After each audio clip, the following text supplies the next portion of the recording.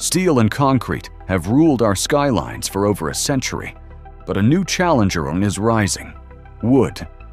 Across the globe, architects are racing to build the world's tallest wooden skyscraper, from Norway's 18 story Mjøstårnet to Tokyo's daring plan for a 70 story timber giant.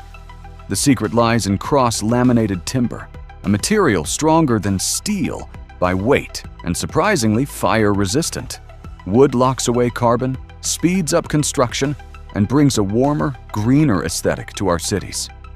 But it's not without challenges. Higher costs, strict fire regulations, the difficulty of sourcing enough sustainable timber, and the looming risk of deforestation if demand surges unchecked. The question then isn't just which city will claim the crown of the tallest timber tower, but whether wooden skyscrapers can truly reshape our skylines